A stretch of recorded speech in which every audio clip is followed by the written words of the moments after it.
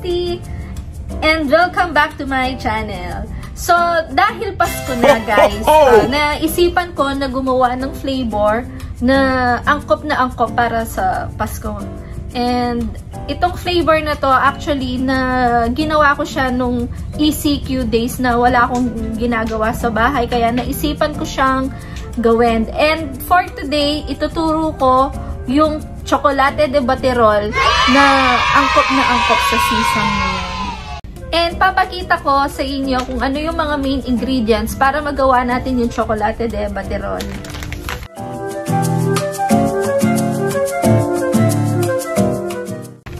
Unang-una, uh, yung dark choco.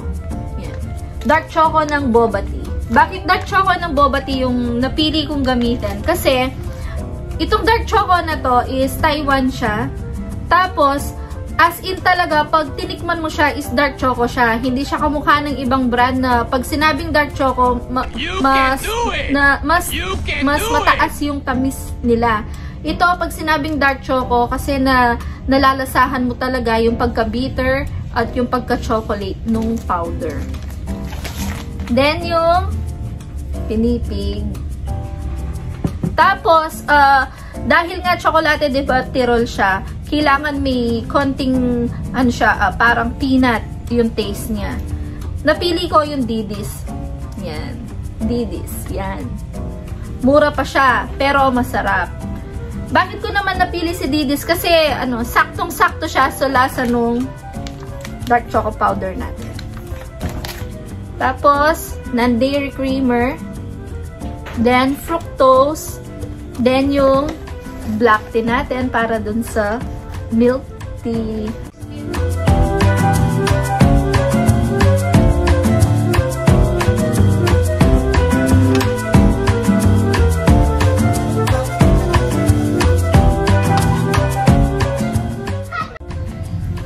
Dito guys, kailangan natin ng blender. Mas maganda kung gumamit kayo ng blender para ma-mix ng todo yung uh, mga ingredients natin. Kasi unang-una, may peanut butter tayo. So kung gagamit lang tayo ng uh, shaker at mag-stir tayo, medyo matagal bago bago mag-mix yung mga ingredients natin.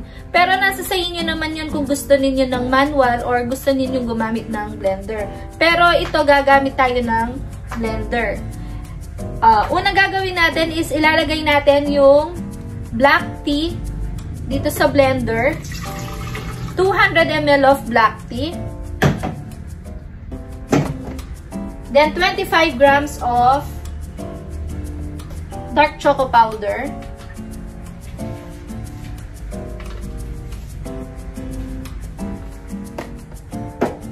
Then 10 grams of non-dairy creamer.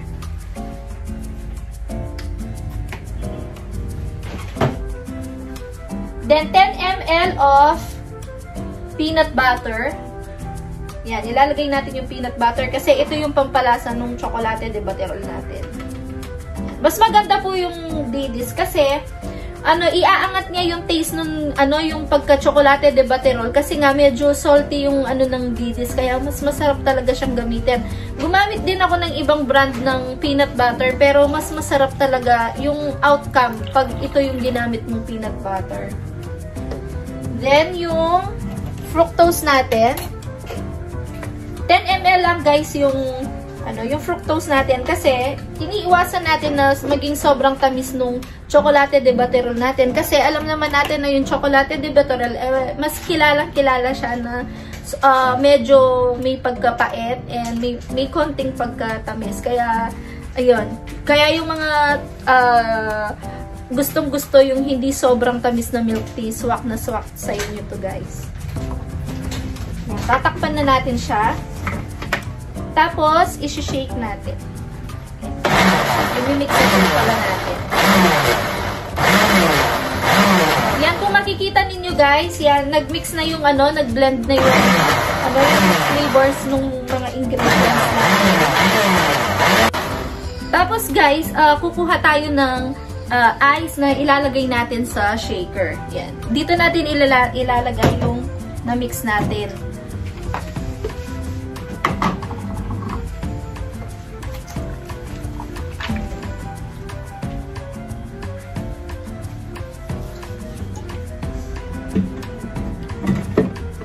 Yan. Tapos, sasara natin to. Then, isi-shake natin siya. Wow! Guys, kapag nararamdaman na ninyo na lumalabig, lumalamig na sa kamay ninyo, it means okay na siya noon. Mas masarap kasi na mas uh, ma-shake muna yung milk tea natin kasi mas na-enhance kapag na lumalamig talaga siya sa ice.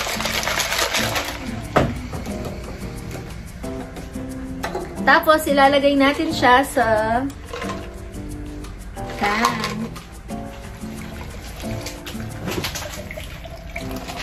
Ayan na guys yung cold choco latte de baterol milk tea natin. Tapos, lalagyan natin siya ng pinipig.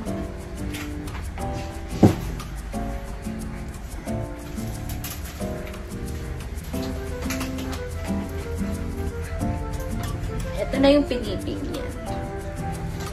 Bali, yung nilagay kong pinipig dito is 1 and a half scoop. Nasa sa inyo kung gaano kadaming pinipig yung gusto ninyo. Isisil na natin siya sa canning machine. Pwede naman na ano uh, gumamit tayo ng cup sealer or kahit yung mga ano yung mga heart lids lang na simple uh, simple lang. Uh, ito ginamit ko yung canning machine kasi may canning machine po kami.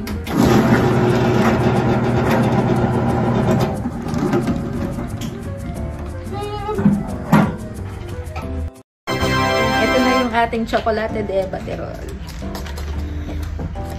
So, to guys, uh, sobrang sarap nito, promise. Kasi, ano, uh, talagang favorite ko, nung ECQ days is, favorite ko talaga yung chocolate de baterol.